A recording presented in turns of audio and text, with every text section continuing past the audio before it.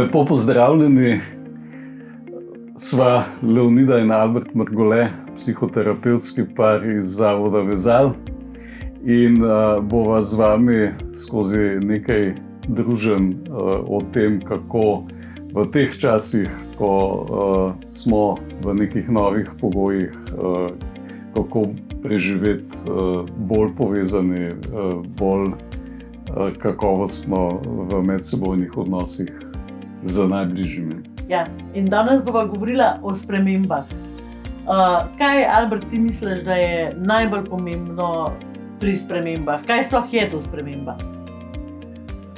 Velikrat se ne zavedamo, ne, da se je nekaj spremenilo in se obnašamo naprej, kot da je vse po starem. Uh, uh, sprememba je to, ko se je treba nekaj na novo prilagoditi. Ko, uh, sprememba je v bistvu nek stres. Ne? Uh, lahko je to stres, ki je tudi na boljše. Glede, sprememba je uh, sprememba tedenske rutine, ko je vikend, uh, ko, ko, ma, ko gremo na dopust, uh, ko so prazniki. Uh, Zmeri so te spremembe.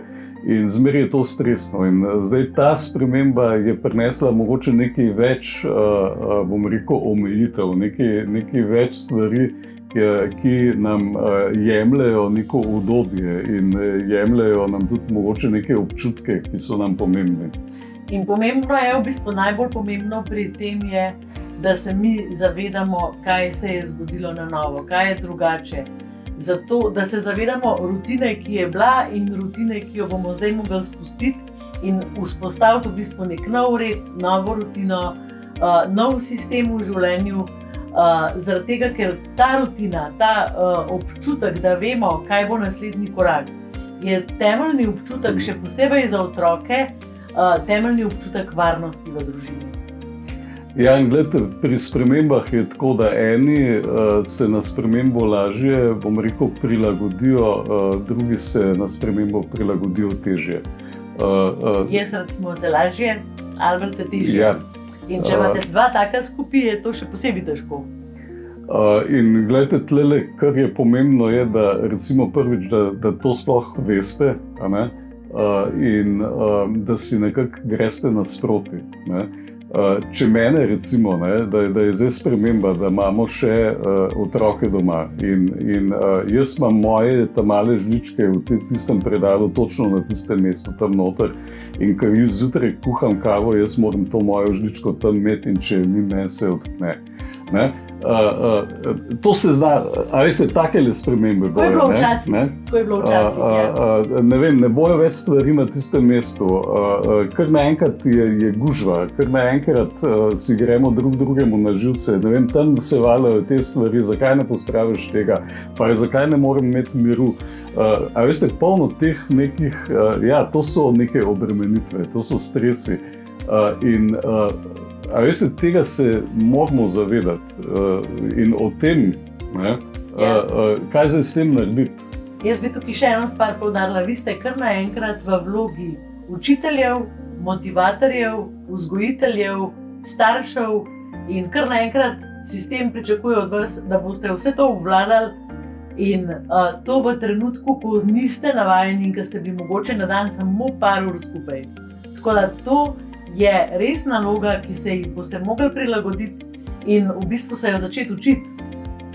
Ja, ampak kaj zdaj tukaj lahko naredimo? Uh, ja. Ker, gledajte, uh, ne, e, en spontani uh, odziv je, ko, ko, ko, se neki, ko se nam nekaj jemlje, ko, ko nečesa nimamo, ko nekaj ni tako, kot sem navaden. Uh, to v nas zbudi neko napetost, ali pa uh, poviša obrate, ali pa celo pride do jeze, ali pa tudi do nasilja. Lahko, In uh, gledajte, ena stvar je pomembna, je, da vi uh, v sebi izberete neko odločitev, da boste skrbeli za, za vem, več prijaznosti.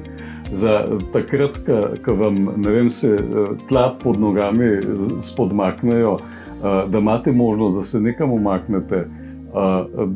Druga stvar, ki je zelo pomembna, je to, da lahko to delite s partnerjem.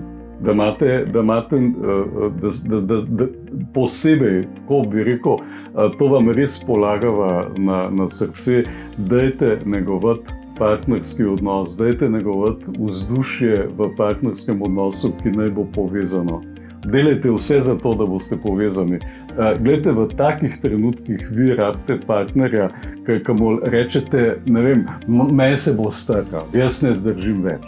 In da, da, da je partner tisti, ki vam takrat ne, ne začne pametovati, pa predavati, ampak da vas samo sliši da aj ste rabite mogoče samo to, da je, vem, vem, da je težko. Da bova preživela. Bova, bova preživela. Ja. Ta dvojina v teh trenutkih zelo prav pride in jaz upam, da jo zmorete. Uh, še ena zelo pomembna stvar je uh, vaše prioritete. Mi dva imamo veliko posnetkov o tem na najnem YouTube kanalu, Albert in Leonida Morgole. Uh, ampak ko rečem prioritete, je pomembno, ali ste vi storilnostno naravnani, ali ste uh, naravnani tako, da vam je pomembno, kakšno je vzdušje v vaši družini. In zdaj, glede na to, da imamo nekega, uh, nek, uh, v bistvu neko zunanjo stvar, ki nas postavlja v stres, ki jo ne moremo nadzorovati in ki ne vemo, kaj bo jutri ali pa čez en teden, je zelo pomembno, da znotraj doma ustvarjate vzdušje, ki bo vzdržno, ki bo nudilo občutek varnosti. In gledajte, tudi če kdaj kaj ne naredite, tudi če kdaj ne, ne, ne vzamete vse tiste snovi, ki jo morate vzeti, nič hudega, zaradi tega se nikomor ne bo zgodil nič noben ne bo zbolel. Uh, pazite na to, da boste iz te situacije prišli zdravi in zdrave pameti. To je pomembno. Mogoče na hitro so še par namigov, kaj, kaj pomeni to na novo si razdeliti delo, na novo uh, se prilagoditi pač tem uh, novim uh, okoliščinam. Uh, glede, Verjetno je pomembno, da imate vse nek, eh, nek red, neka pravila, da imate nek urnik. Eh, pa ne mislim zdaj, da imate vsako minuto, ampak da, da imate neke oporne točke, recimo, kako bomo zajtrk jedli, kaj se bo dogajalo do povdne, kdaj bomo imeli kosilo, kaj se bo dogajalo popovdne. Uh, ne, nek tak red, ne, da, da, se, da boste vedeli, pri čem ste. Mogoče druga stvar. Kako si razdeliti zdaj delo. Zdaj lahko stopite skupaj, lahko skupaj počnete neke stvari. Uh, ja, probejte jih v nekem sproščenem, zabavnem vzdušju. Meni osebno uh, zelo pomaga ena stvar, že dolga leta, ki sem se jo naučila, ker so bili otroci še čist majhni. Uh, tako, tisti, ki naj jo ne poznate, imajo štiri otroke, to, da sem si že zjutraj v glavi skreirala občutek, ki ga bom imela čez dan. To se pravi, da nisem rekla, da moramo narediti, pa to, pa to, pa to moramo narediti, ampak danes mi bo šlo vse zlahka, danes se bom dobro počutila, danes bomo povezani, uh, danes bomo, tudi, uh, bomo imeli tudi humor in igrivost. In ker sem si to zjutraj v bistvu dala v moj program, če hočete uh, se je zelo, večino krat se je uresničil in bilo je veliko, veliko manj konfliktov uh, v družini.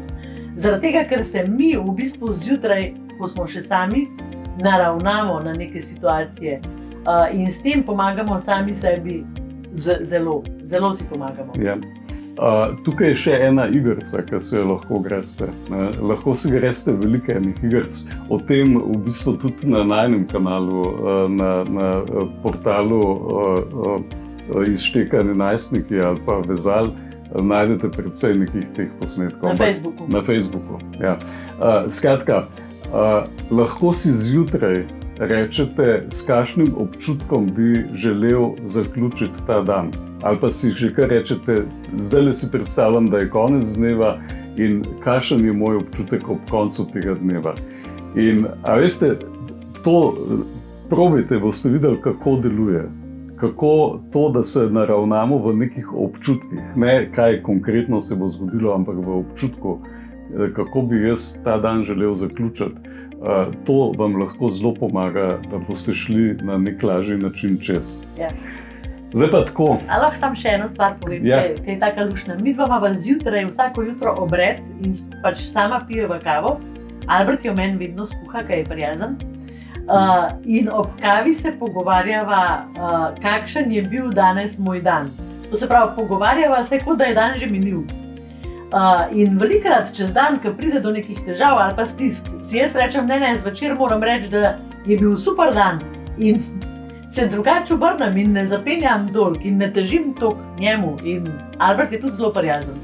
Tako da uh, mislim, da bo za tale video to dovolj. Ja, Ali bi ja. ti še kaj povedal? Bova v nadaljevanju govorila o, o raznih zapletih, uh, tako da uh, vam bova dala več nekih namigov kako res ne boste se izčrpavali, kako boste preživeli na bolj kvaliteten način tudi te težke čase. Ja, in ne pozabite, zdaj se nam je sicer na zelo čuden način uresničila ta želja, da smo veliko skupaj in da imamo to bogato izkoristiti. Srečno, se vidimo! thank you